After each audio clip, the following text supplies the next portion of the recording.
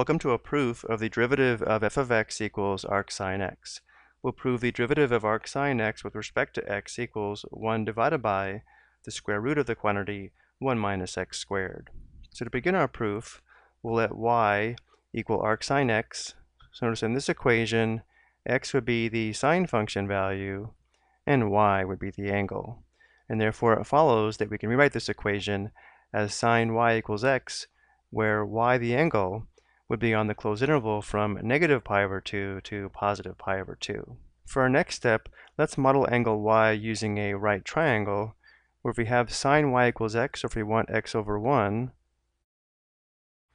since sine theta is equal to the ratio of the opposite side to the hypotenuse of any right triangle, we can label the opposite side x and the hypotenuse 1.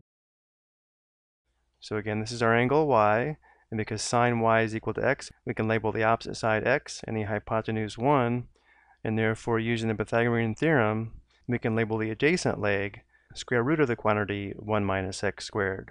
So using this triangle, we know that sine y is equal to x, and we also know that cosine y, which is equal to the ratio of the adjacent side to the hypotenuse, would be the square root of the quantity 1 minus x squared.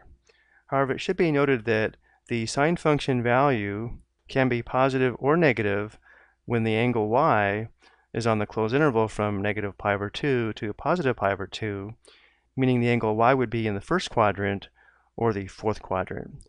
If the angle is in the first quadrant, then the sine function value would be positive, and if the angle is in the fourth quadrant, the sine function value would be negative.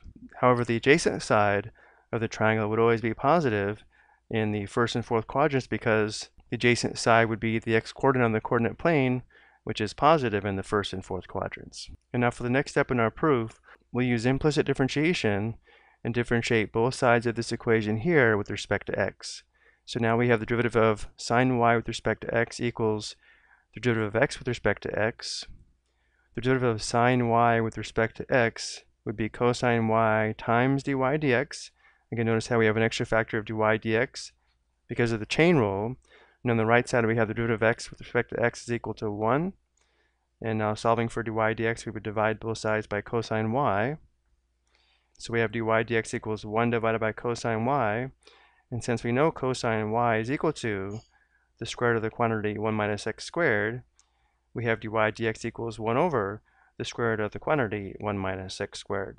We could also write 1 over cosine y as secant y using our reciprocal identity. And then referring back to the triangle, for secant y we'd have the ratio of the hypotenuse to the adjacent side, which also gives us 1 divided by the square root of the quantity 1 minus x squared. And therefore we have our proof the derivative of arc sine x with respect to x equals 1 divided by the square root of the quantity 1 minus x squared. Notice wherever the derivative is defined, this value would be positive, which means wherever the derivative function value is defined, the slope of the tangent line would be positive. And let's verify this by looking at the graph of f of x equals arc sine x. So here's the graph of f of x equals arc sine x.